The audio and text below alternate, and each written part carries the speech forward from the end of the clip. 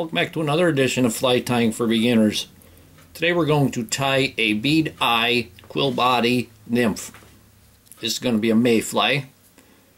The thread I'm going to use is brown. This is 70 denier. The hook is a size 14 standard nymph hook. We're going to put a few wraps right in front of the eye or in back of the eye. I'm going to make an open, little bit of an opening there, and then put a few more wraps in the back of that. This way we have a bump, plain shank, and a bump, and then the beads, the bead chain eye will not move. I'm using a standard pull chain and I cut two off and I'm going to tie them in right inside the two bumps. Five turns one way, take it cross over and do about five turns the other way. Then you can put five turns under the beads and on top of the shank. And then you can repeat. I'm going to turn the hook upside down. I'm going to put a little bit of head cement right between the beads. Now you can leave this with the silver beads. I'm going to take a black marker and color the beads black. I'm going to take the thread back to the tail position.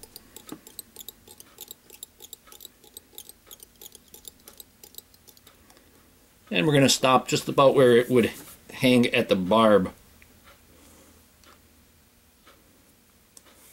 Here I have a hen hackle. It's a bit ginger and it's a bit dark.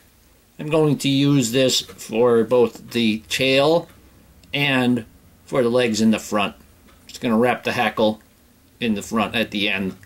I'm going to take a little bit of the uh, barbels and use them for the tail. We want that tail to be about the length of the body.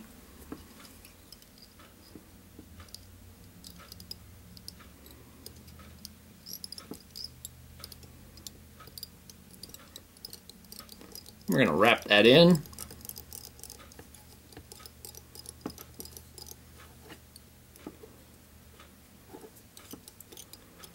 I'm going to bring the thread back.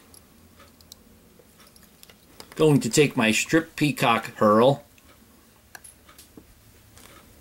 I'm going to tie that in. Leave that tag go all the way up front. We're going to tie that in. Bring my thread forward.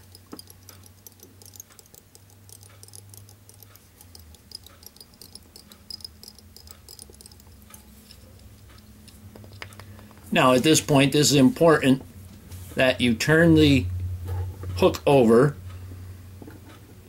because this is the way it's going to ride in the water and you want to make sure you have your wing case on the bottom of the hook. I even myself I end up with the wing case by the beads and it's on the wrong side. Make sure that you turn it over. We're going to put some head cement on the shank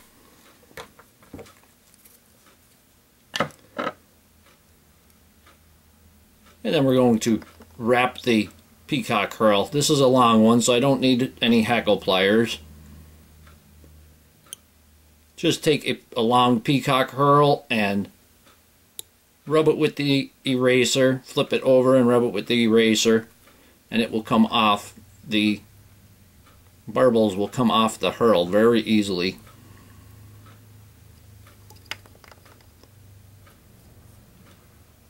And we're going to bring that up front. I'm going to go further than I need to. I'm just going to bring my thread back to where the thorax would start. I'm going to tie this off. Now for the wing pad, I have a golden pheasant tail center. This is nice, going to make nice molted wing pad. You can use any uh, pheasant tail that you'd like, or I cut a section out of the golden pheasant tail and I lacquered it, put some head cement on there and let it dry. We're going to tie that in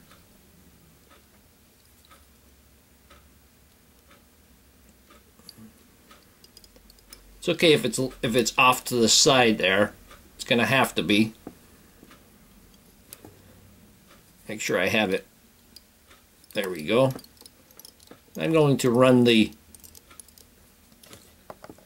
thread up. I'm going to trim this off. I'm not going to use that for legs because I got lacquer on them.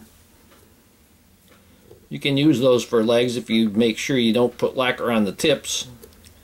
For the thorax, I'm going to use March Brown Antron Blend dubbing. And we're going to dub this. You don't need to make the noodle really skinny because you want a fat thorax. So you want to make a, a fat noodle. You still want it to be fairly tight. You don't want it so fat that it's all loose. And we're going to wrap that.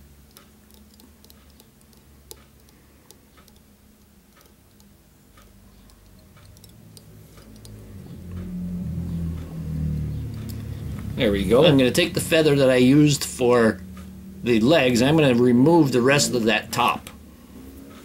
We're going to tie this in by the tip. I'm going to tie it in with the curve to the shank of the hook. And that will help us to have the hackle barbels going towards the rear when we wrap it.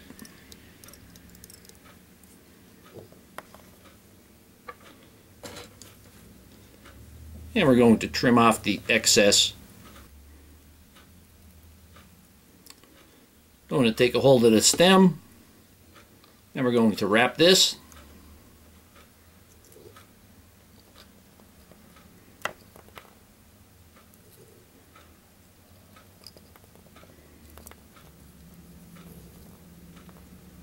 and we're going to tie that off. Going to divide the legs to each side.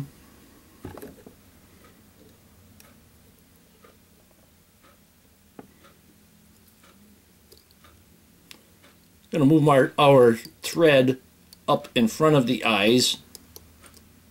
It's going to do a little bit of a crossover to clean that up. Take our wing bud, fold that over.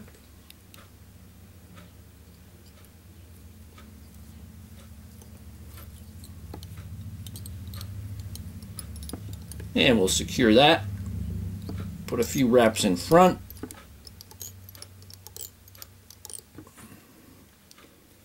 Keep that material away from the eye. Get rid of the excess.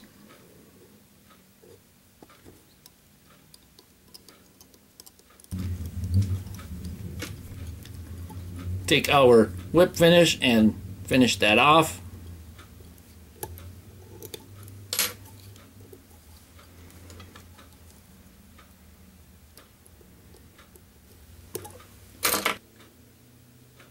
Get some head cement on there. You could put some head cement on your wing on your wing case.